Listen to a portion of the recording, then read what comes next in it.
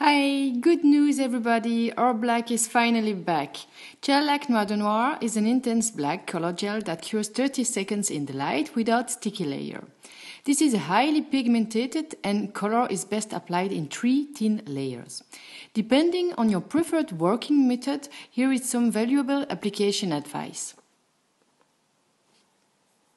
If you are used to work 5 fingers at a time, make sure you apply 3 very thin layers and cure 30 seconds in the light or 2 minutes in UV. Your first layer should be so thin that it looks transparent on all 5 nails. Cure the whole hand for 30 seconds in the light. When you apply your second thin layer, it should still be a little transparent at the free edge of the nail. Cure the full hand for 30 seconds in the light. For an optimal covering, apply a third thin layer and cure for 30 seconds in the light. And as you can see, it is fully cured. If you want to work in only two layers, you can use the second option. Make sure you apply the first layer very thinly and apply a double curing time for the second layer.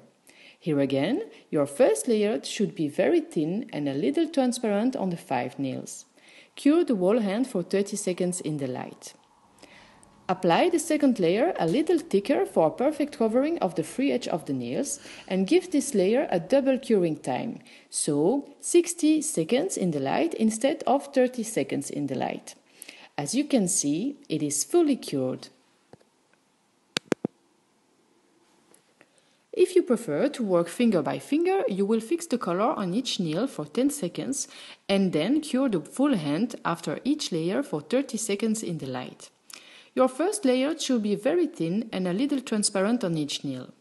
Cure the whole hand for an extra 30 seconds in the light. Apply the second layer a little thicker for a perfect covering of the free edge of the nails. Cure the full hand after each layer for 30 seconds in the light. As you can see, it is fully cured. I wish you a lot of fun with the Gellak Noir de Noir.